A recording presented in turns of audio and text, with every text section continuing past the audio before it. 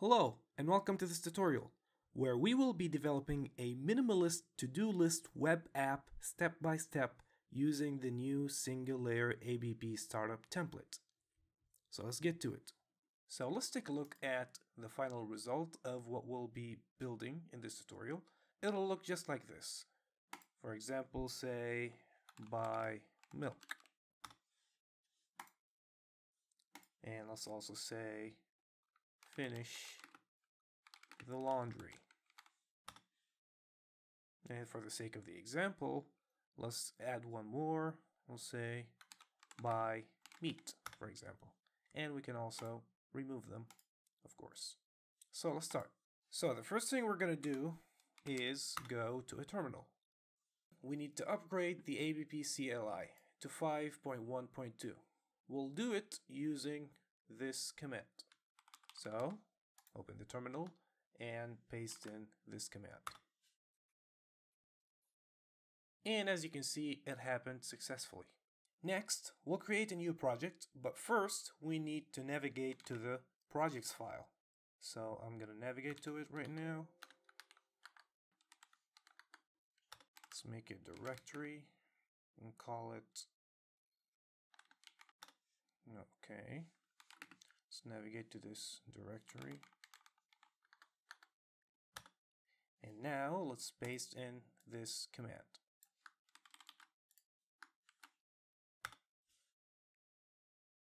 Now that our project is ready, let's open it with your favorite IDE. You can of course use Visual Studio for this, but I'll be using Rider in this tutorial.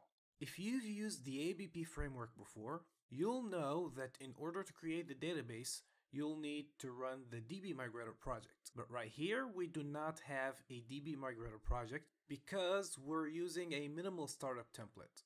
And so we'll have to do it manually using the terminal. We'll have to use this command in order to create the database.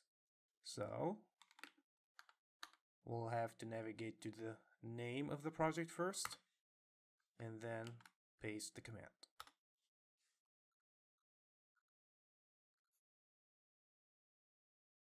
Okay, since I prepared before for this video, I have the same database with the same name. So I'll have to change this. We can take a look at the app settings.json and right here, the database name, we'll just put, for example, number 7 here or something. Whatever it is, it's not a problem.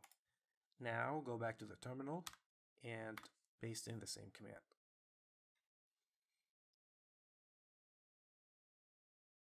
Alright, perfect. Now, since we created the database, we can run the project and see it come alive.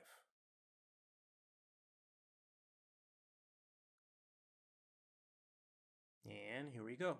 As you can see, it's different from the usual ABP framework startup page, right? Because this one is a minimalist single layer application startup template for the ABP framework. It's of course different than the whole layers together. And now let's continue with the next steps.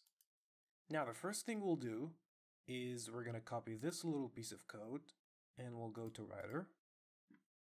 We'll create a new directory or folder right here, and we're going to call it entities, right?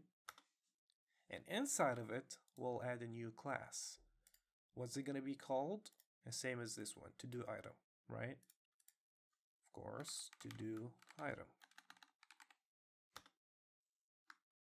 Now we're going to control all of this and we're going to paste this little piece of code as it is right here. Now the first step is out of the way and of course we don't have a domain layer it's a single layer right now. Now, the next step. Let's copy the dbset line from here and go to Rider, Go to Data right here to do app db context. And we'll have to just add it right here. Now the first part of the second step is over. Let's move on to this one. We'll only copy the builder part right here, if you can see. We'll copy this, and then we'll go to the same on model creating method right here. And at the bottom of it, yes, right here, we'll add the builder. And I suppose by this, the DB context is over with. Let's code the first migration. We'll copy this migration code and we'll go to the terminal and we will stay in the same spot. We're just gonna paste it right here. Oh, okay, okay, okay, okay, sure. Because the project is still running, so we'll stop, stop, stop. Stop running, please. And let's try it again. Yeah, perfect. Now the migration is over. This migration part is over. Now let's move on to the next command, which is going to be the database update.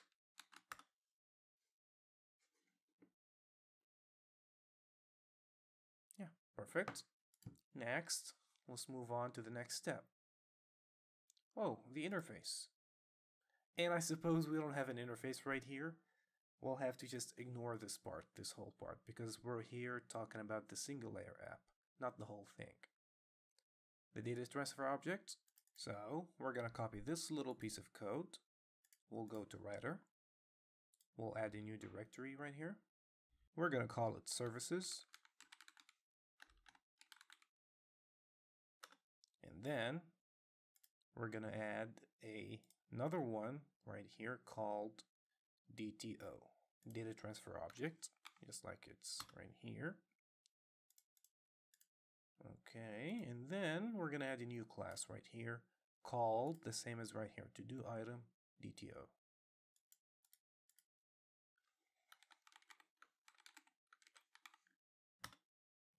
Perfect. Now we're just gonna control A and paste it right here. Now we'll have to copy this piece of code and we'll have to go to Rider and we'll have to create a class right here in the services. The name of the class is going to be the same as this one, to do app service.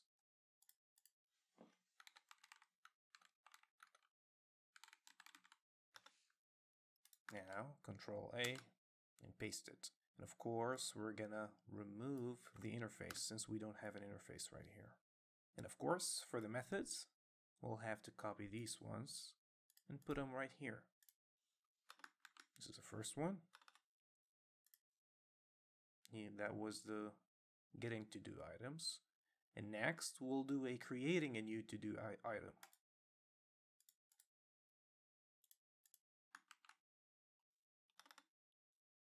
Next, deleting a to do item.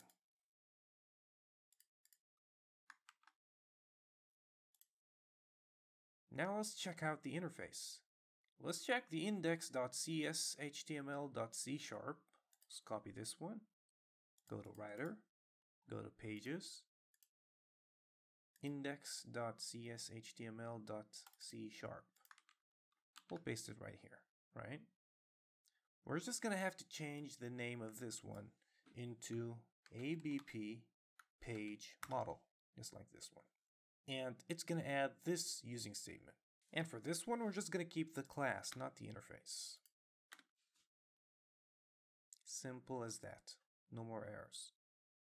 Now let's move on to the next step, which is the index.cs HTML. Now, we're not going to copy this and we're not going to copy this because I'm going to need you to leave this alone. All of these, do not touch them.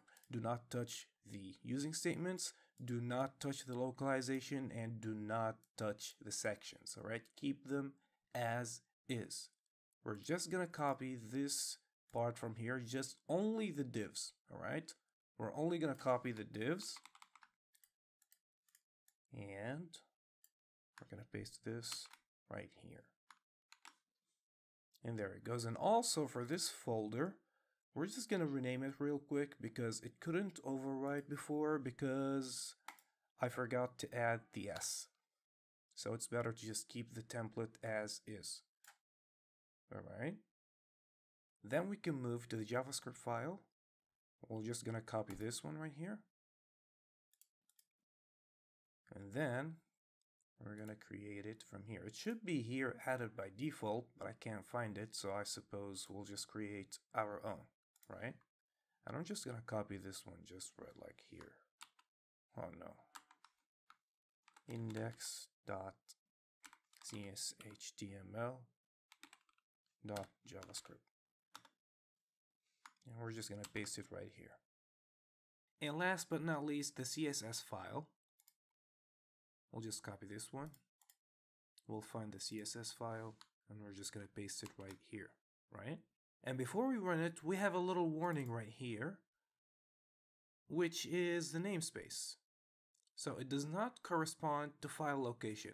It should be to do app.pages. Why is that? Because if we take a look at the index.cshtml, it's to do app.pages, right?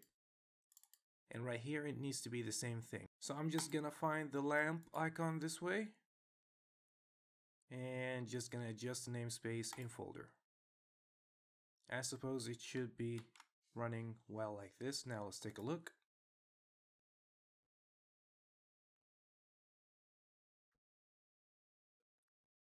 And I suppose it's working just fine. Let's see. Buy milk. Do the laundry. And clean your room, for example. Can we remove those? Yes, we can remove those. And that's how you develop a minimalist to-do list app with the ABP framework. And see you in the next video.